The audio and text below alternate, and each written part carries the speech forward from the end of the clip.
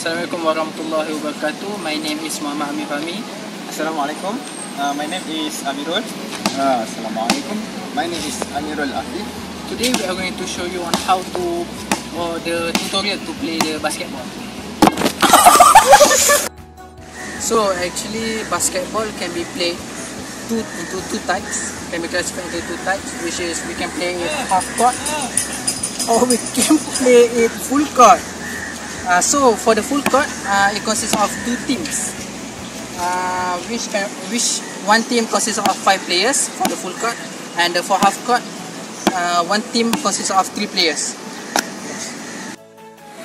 So we are going to apply math into the basketball.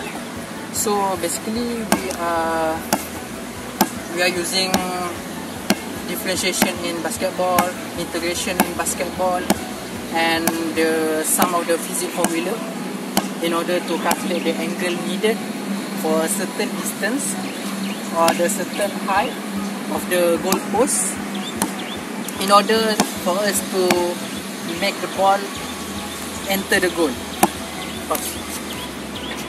So uh, we, we need to calculate the angle in order to enter the goal post and the velocity, the initial velocity for the ball uh, in order to make it goal.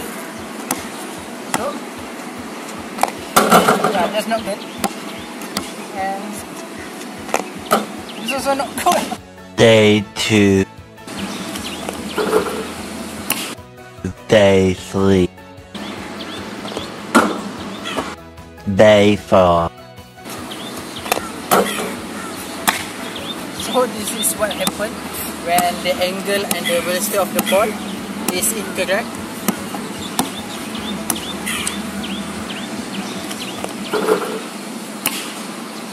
So much later that the old narrator got tired of waiting and they had to hire a new one.